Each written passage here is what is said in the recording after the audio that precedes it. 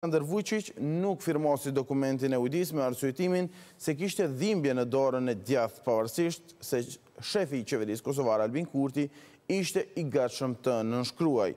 Në njëvjetorin e marrëveshjes së Ohrit u deklarua shefi për politikë të jashtme i Bashkimit Europian Josep Borrell që ishte ndërmjetësues i ujdisë. Sipas tij, rezultatet e zbatimit të ujdisë janë për keqardhje. Për këtë arsye pret nga liderët e të dyja palëve që të tregojnë përgjegjësi, vizion dhe lidership, duke bërë progres në zbatim pa vonesa të mëtutjeshme.